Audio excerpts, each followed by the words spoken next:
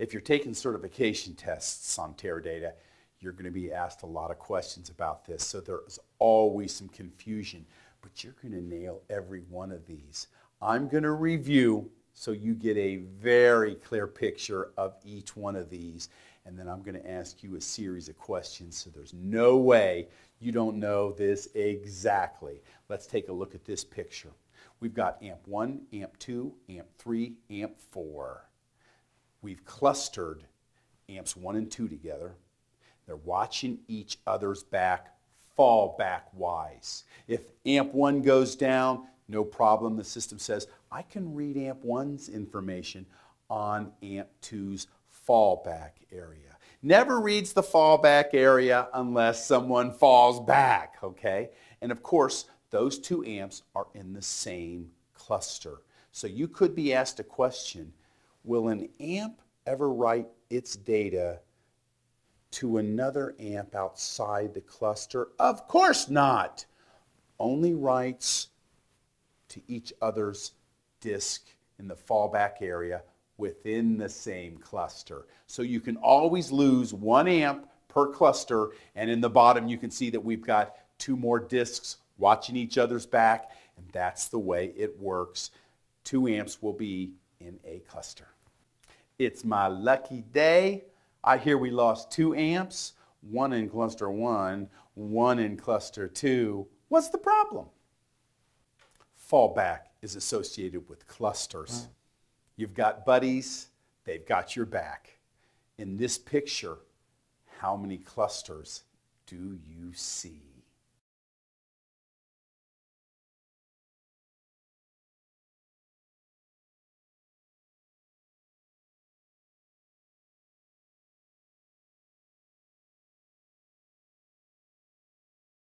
I've got 32 amps in this picture. So I've got 16 clusters. The red amps are a cluster, the blue amps are a cluster, the black and the green amps are clustered, and that's the way it's going to work. Fallback has clusters. Nodes are in cliques. How many cliques do you see here?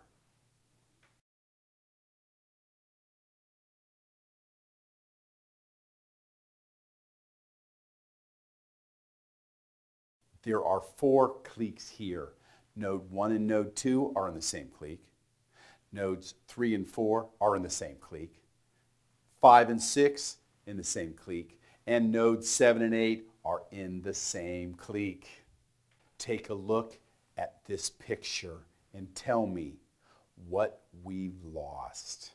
I've got a multiple choice question here for you. I'll read it to you. You think about it. Get your answer ready. Answer A, we have lost node 1. Answer B, we have lost query capabilities on full table scans for fallback protected tables. Answer C, we have lost one amp in cluster 1. And D, we have lost all amps in clique 1. The answer is C. We have lost one amp in cluster one. You're doing well. What have we lost in this picture? Is it A, we have lost node 1. B, we have lost query capabilities on full table scans for fallback protected tables. C, we have lost 1 amp in cluster 1 and 1 amp in cluster 2. Or D, we have lost all amps in clique 1. The answer is C again. We've lost 1 amp in cluster 1. We've lost 1 amp in cluster 2.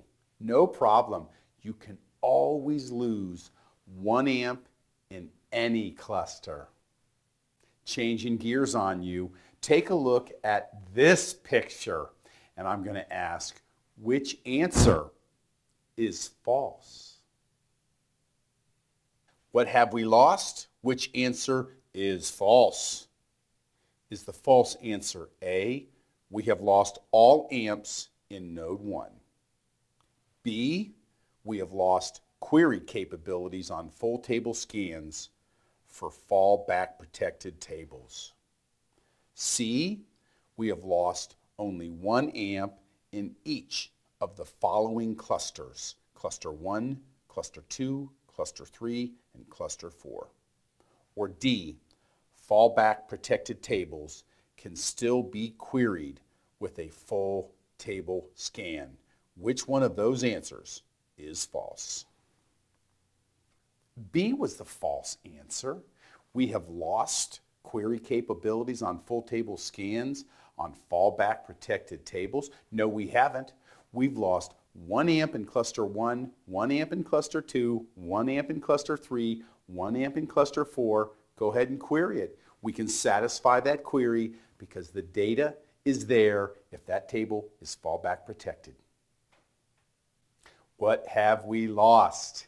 In this example here, I want you to pick two answers that are true.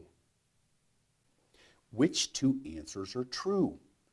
A, we have lost clique 1. B, we have lost query capabilities on full table scans for fallback protected tables. C, we have lost only one amp in each of the following clusters. Cluster 1, 2, 3, 4, 5, 6, 7, 8.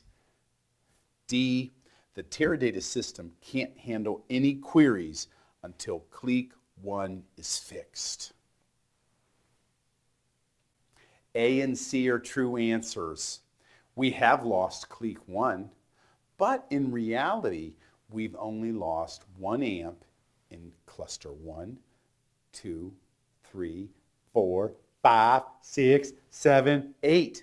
We can still query this system if the table is fall back protected because even though we've had an entire clique wiped out, we've only lost one amp in each cluster.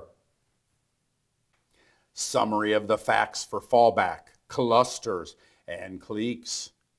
Amps are grouped into fallback clusters consisting of two amps.